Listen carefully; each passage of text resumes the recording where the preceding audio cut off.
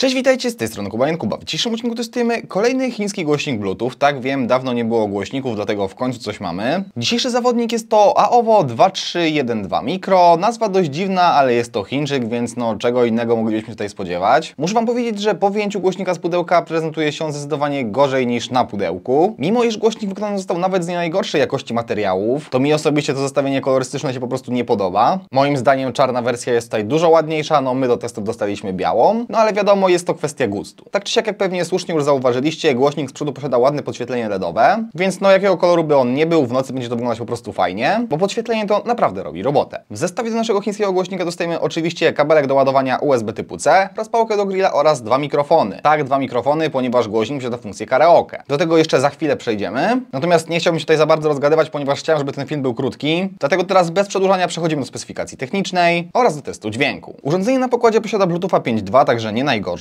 Producent deklaruje nam zasięg do 10 metrów, realnie myślę, że będzie on dużo większy, ale to oczywiście sprawdzimy. Głośnik wyposażony został w 20W przetworniki, z tyłu jest bass reflex i muszę wam powiedzieć, że takie rozwiązanie sprawia, że ten głośnik gra dużo lepiej niż wygląda. Oczywiście jak na tę cenę to nadal nie jest rewelacja, ponieważ głośnik kosztuje około 70 dolarów, ale zresztą posłuchacie go za chwilę sami. Producent deklaruje, że zastosowany w urządzeniu akumulator ma 2400 mAh, natomiast producent nie mówi przy jakim napięciu. Więc tak naprawdę ta informacja, że tu jest 2400 machów nam nic nie mówi o faktycznej pojemności akumulatora. Natomiast zakładamy, że to napięcie 3,7V, więc głośnik długo na tym akumulatorze nie pogra, a z włączonymi LEDami już w szczególności. Bo oczywiście ile głośnik pogra, producent nam nie podaje. Natomiast trzeba przyjąć, że z włączonymi LEDami na maksymalnej głośności to będą około 2 godziny. Mimo, że głośnik przed akumulator, to moim zdaniem bardziej jest to głośnik domowy, gdzieś do postawienia na biurku czy na szafce, więc ten akumulator nie powinien być tutaj dużym problemem. Natomiast gdybyście chcieli zabrać go w plener, no to jest taka opcja. Tylko wiedzcie, że długo to nie pogra. Z takich ciekawostek głośnik został wyposażony w ładowanie indukcyjne z mocą do 15 W i tu jestem zdziwiony, bo z reguły w takich urządzeniach te ładowanie indukcyjne to jest taki dodatek i z reguły mamy 5, a nie 15 W. Natomiast skoro tu faktycznie mamy już 15, no to telefon podładujemy w jakimś nawet sensownym czasie. To się moim zdaniem chwali. Z tyłu urządzenia znalazł się port na kartę microSD, z której możemy odtwarzać zapisane MP3. Mamy także port USB, także piosenki możemy grać na pendrive'a. Jest również port AUX do podłączenia zewnętrznego źródła dźwięku. Oczywiście Bluetooth i TWS, także możemy sparować sobie dwa takie głośniki. No i na koniec funkcja FM, która wymaga wpięcia kabelka AUX, aby służył on jako antena. Jeśli chodzi o specyfikację, to tyle, także posłuchajmy sobie teraz jak to gra.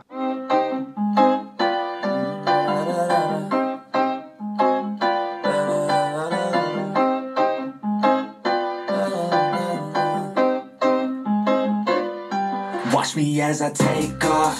I'll be working until I have all of my days off. And I'm surfing in California when I'm paid off. I'll be blurring my vision, sipping on that bass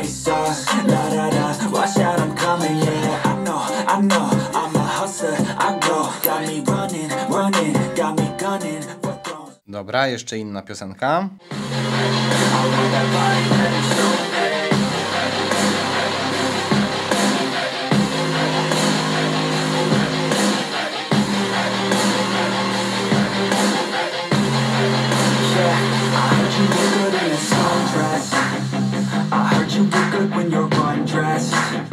I heard you look good in a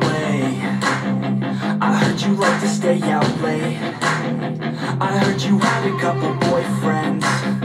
I heard they didn't treat you right. I heard you're hated by your girlfriends.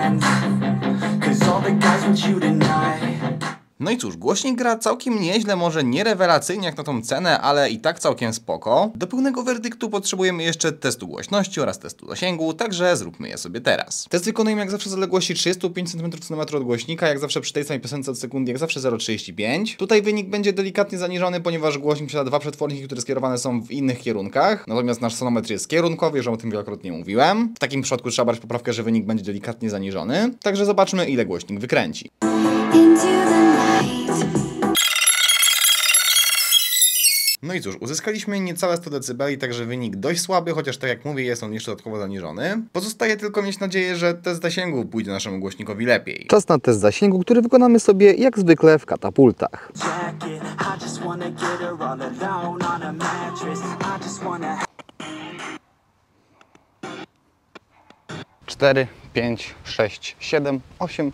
her all alone on a mattress. I just wanna 4, 5, 6, 7, 8, 9, 7 na 8 na 9 na 2 na. No i cóż, zasięg naszego głośnika to równiutkie 21 metrów, wynik bardzo słaby jak na Bluetootha 5.2, aczkolwiek dwa razy większy niż deklaruje producent. Także no nie jest to dużo, natomiast producent deklarował nam dwa razy mniej, więc tragedii nie ma. No i wreszcie podsumowanie. Jeśli chodzi o jakość dźwięku, to jest całkiem nieźle. Na plus na pewno wysokie tony, ponieważ są one bardzo przyjemne i wyraźne. Co do basu, to trochę go z głośnika słychać, natomiast no nie jest on głęboki. Dochodzi do tego jeszcze stosunkowo niska głośność, więc no moim zdaniem w tej cenie da się kupić lepsze głośniki. I to było tak w zasadzie wiadomo od początku tego filmu. No ale trzeba też zaznaczyć, że to nie jest typowy głośnik Bluetooth. To jest głośnik, lampka nocna, radio, ładowarka do telefonu, budzik, czy po prostu fajna LEDowa ozdoba. No i zbierając tak te wszystkie funkcje do kupy, faktycznie to może dla kogoś mieć jakiś sens. Dla mnie jednak te rozwiązania wcale nie są jakoś super praktyczne, a jakość dźwięku, mimo że nie jest zła, to też nie jest dobra jak na tą cenę. Gdyby to urządzenie było o połowę tańsze, to powiedziałbym wam wtedy ok, spoko, to jest w pełni akceptowalne. Natomiast w tym przypadku niestety niekoniecznie. Ale słuchajcie, wymieniłem wam już, że ten głośnik ma masę funkcji. Nie pokazałem wam jeszcze jednej, o której zresztą mówiłem na początku filmu, czyli o funkcji karaoke. Możemy sobie teraz z tego zrobić karaoke. Mikrofon ma różne tryby i mogę mówić do Was tak jak właśnie teraz w ten sposób, Mogę mówić również tak, albo tak.